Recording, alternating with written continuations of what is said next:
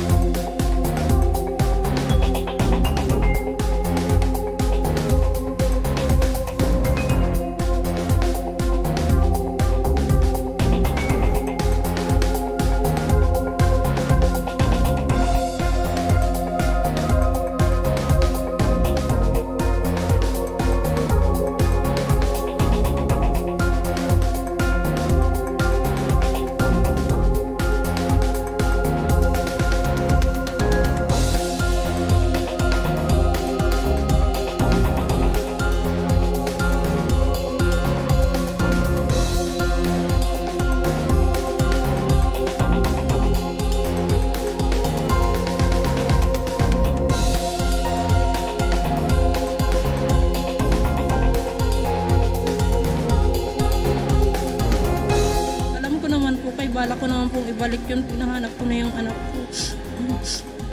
Wala naman akong plano kidnapin talaga yung bata. Wala. Kaya hindi ko naman siya anak. Kailan mo sana siya isasaulin yung bata?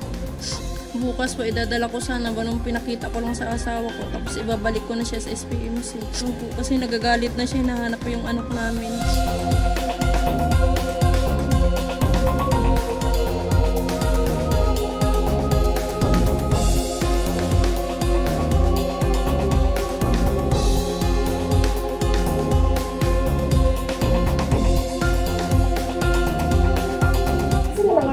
Asawa? Focus. August pa. So wala ka wala pa siya kauli since August. Nakauli na sa balay. no? Pag uli niya wala wala yung mga anak. Wala kay Ang sa mo niya. Dili mo daw.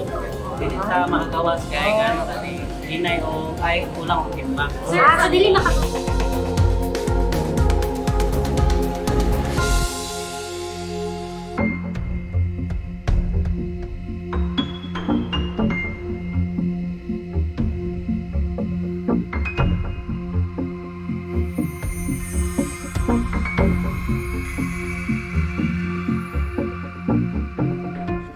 po ako ng tawad sa kanila. Hindi ko naman talaga intention yun.